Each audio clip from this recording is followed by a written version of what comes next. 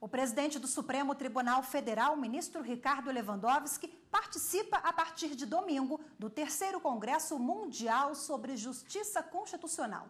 Este ano, o evento vai ser promovido pela Corte Constitucional da República da Coreia. O tema será a Justiça Constitucional e Integração Social.